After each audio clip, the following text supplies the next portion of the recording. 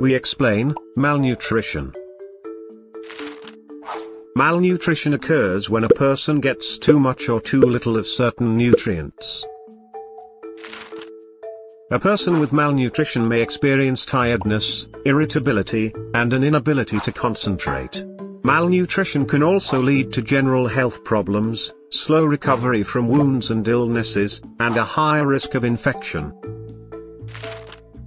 Malnutrition can occur for various reasons, including 1. Lack of food. 2. Difficulty in eating or absorbing nutrients, such as with certain diseases, or conditions like chronic nausea.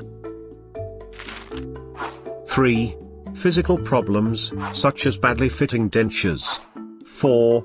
Mental health conditions, like depression or anorexia nervosa. 5. Social and mobility problems, such as living alone, being unable to reach a food store, or lack of money to buy food. 6. Digestive disorders causing the body to not absorb nutrients efficiently. 7. Alcohol and drug abuse. So, who is at risk? People living in areas where food is scarce, those who are socially isolated, those with a low income, people with underlying health issues or with eating disorders, and the elderly, are all at risk of malnutrition.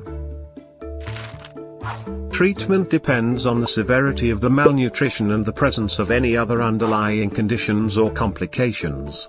Individual treatment plans are made for malnourished people by healthcare providers. Ultimately, to prevent malnutrition, ensure consumption of a range of nutrients from a variety of food types. Also provide the elderly, the young and the ill, with additional care to ensure that they obtain the nutrients they need.